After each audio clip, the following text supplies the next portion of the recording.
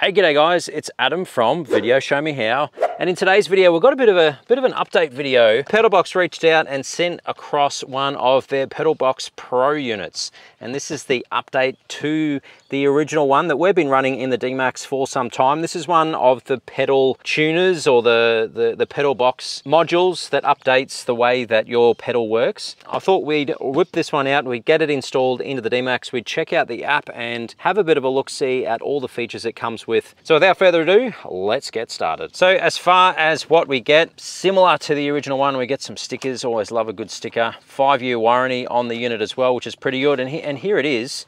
Just like I said in the original one, I think it's pretty cool in the fact that it's very similar to the D-Max trim. These are a little bit different in the way that they connect, mainly because these ones, you don't even need a cable. This one you did, and it connected in to the module that sits underneath there. You can check out how that installed on the previous video. I'll link it in the video description.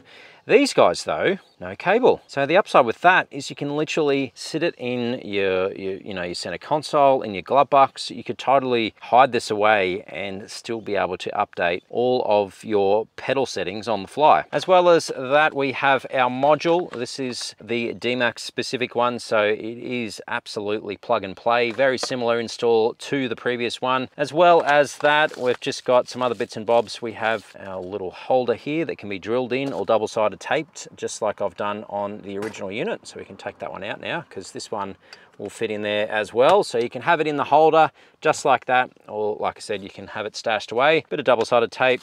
We then have our warranty and instruction booklet here as well. Now from here, the next step is to get this guy all installed or get this guy in this case with the pro version, get this guy all installed. Now I'm not gonna go into crazy detail here. If you wanna see how to install this one in lots more detail, check out the original install video for the original version. It is exactly the same. The main difference is we just have uh, this guy plugging in as the module rather than needing to route all the cables. So super, super easy. So we've got it all installed. It literally takes all of 30 seconds plugging that plug in and out. We've got our new module here and here's our old unit here. So that is going to get tucked up underneath with the supplied zip ties. We'll just confirm everything is working okay. The next step is to download the app. We can see here's our original one. Here's the Pedal Box Plus.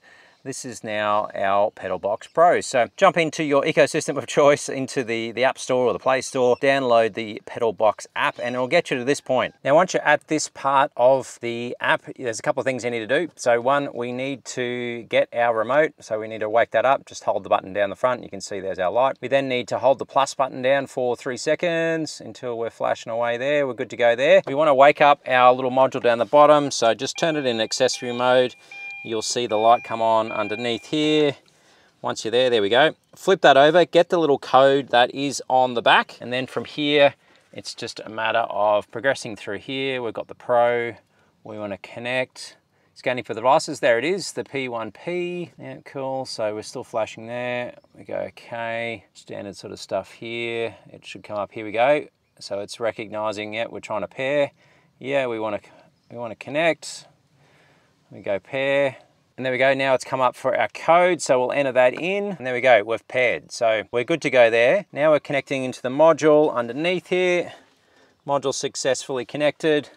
And here we go. So this, this is what you'd normally get when you first boot up the app. So from here, I reckon what we might do is we might button up everything else underneath here now that we've confirmed it's working. So we'll tidy up this, put our foot pad and panel and everything all back underneath where it should go we might just hit the road a little bit and have a play with some of the new features. Now, just before we take off, one of the things that we need to do, it will work as it is, but the whole idea is that we tune it to your pedal. And that's one of the things I really like about the pedal box in comparison to a lot of the sort of the other clone sort of pedal modules that are out there that just modify the signal. These ones actually modifies it to your actual pedal throw. So it does that through a process called Perfect Tune. And we're gonna do that now. We need to wake up the remote, just just a long press on our plus button. We need to not start the car, but we need to get it into accessory mode. So we'll flick that over. That will then attach here and wake up to our module underneath. You can see that we've gone purple here because it's detected it.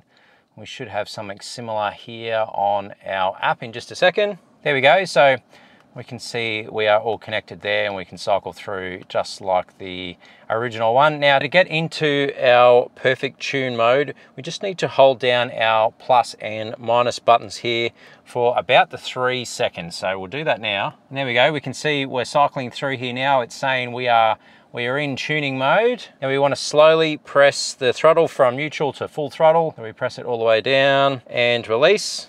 And we can do that a couple of times and you can see that's me pressing my, my foot down here now on, on, the, on the throttle, on the accelerator. And as I do that, you can see how it is reading that. And you want to do that a few times so that it gets it all nice and tuned and do it nice and slowly.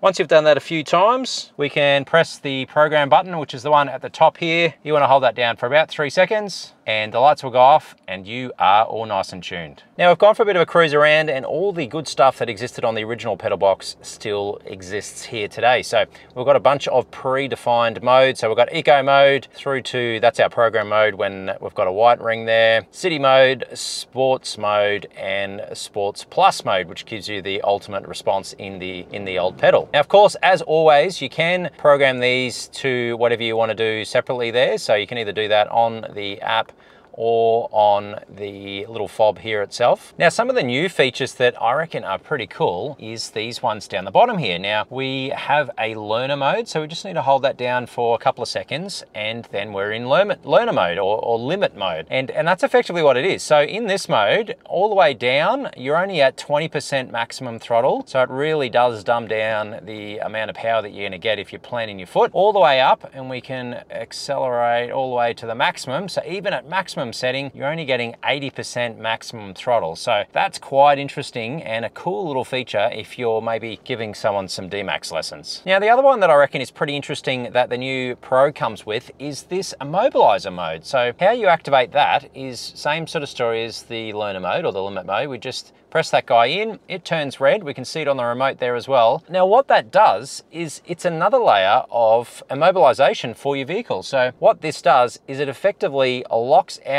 see how that's now turned off. If you take this with you, you've got it on your key ring or something like that, the same sort of thing applies as the rest of the vehicle immobilization. Uh, immobilization. So it, the pedal will not work until either the phone or the little key fob comes back into contact with that module that's down at the accelerator pedal. So we'll, we'll, give a little demo. I know we're not, we're not walking away from the car, but if I turn this off, we'll let this disconnect. This has disconnected here on our little fob.